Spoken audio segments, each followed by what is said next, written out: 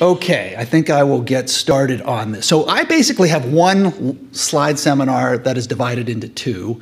Um, I'm doing it sort of problem based, as you will see, or I should say pattern based. The first group of cases are all fatty tumors, which is a very practical topic to talk about because we see a lot of fatty tumors. In fact, this first case that I'm going to show you is one of the most common consults that I see.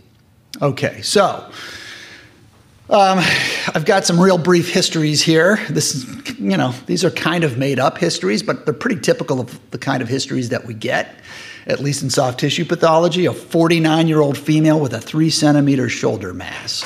Actually, we don't even get that much history. You have to you have to look it up and find out, you know, how big the tumor is, where it is, whether it's superficial or deep. Which, by the way, um, and Darcy's going to talk about you know, sort of bone type stuff where looking at radiologic reports is obviously really important. We're all taught that. But in soft tissue, it actually can be quite helpful too. Maybe not quite as useful, but I think it's pretty helpful with regard to finding out whether a tumor is superficial or deep, what structures it's related to, things like that, which won't come on a requisition.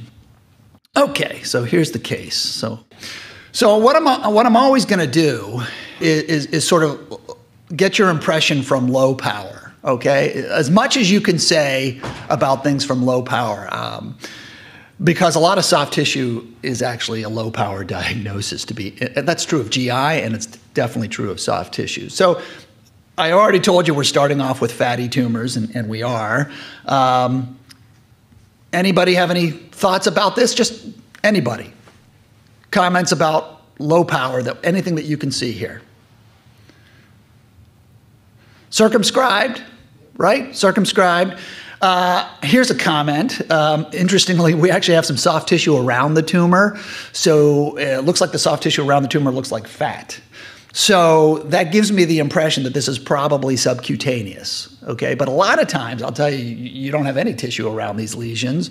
And um, and so you don't know whether it's superficial or deep. I mean, your guess is as good as mine. I mean, sometimes you'll see skeletal muscle around it, sometimes you'll see fat around it. That gives you a, an indication whether it's superficial or deep. But a lot of times, surgeons just shell these things out, and you don't know whether it's superficial or deep. So, so in this case, we actually have some histologic evidence that this thing is subcutaneous, which is pretty important for reasons that I will get into.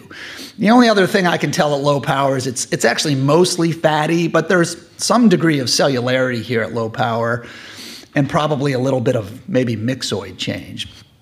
That's about all I can tell. Now I'm getting into a little bit higher power. And from this magnification, this is what I like to do in, in a fatty tumor. I'm talking about specifically a well differentiated fatty tumor. Um, is there cytologic atypia at this magnification?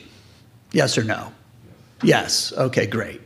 Um, that pretty much limits it to two possible fatty tumors um, pleomorphic lipoma and a atypical lipomatous tumor. Uh, let's talk about nomenclature.